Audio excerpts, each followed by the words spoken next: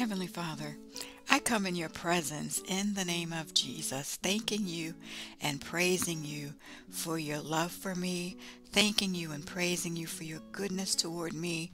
You told me that I can come before the throne of grace and I could find help. I could find mercy, grace to help me in the time of need. So I come before you, Father God, knowing that my concerns are your concerns. And you told me to cast all my cares on you. You told me that if I seek first your kingdom, everything else that I need will be added to me as well. And I'm asking you today, Lord God, for a godly wife. I'm asking you for a woman after your own heart. I'm asking you, Lord God, to send me someone that you know is good for me, that is compatible with me. Father God, I may have in my mind what I think I need, but you know me better than anyone else.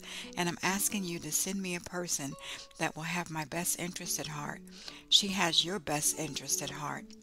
And I give you all the praise and glory for making that divine connection, the connection that we need to meet.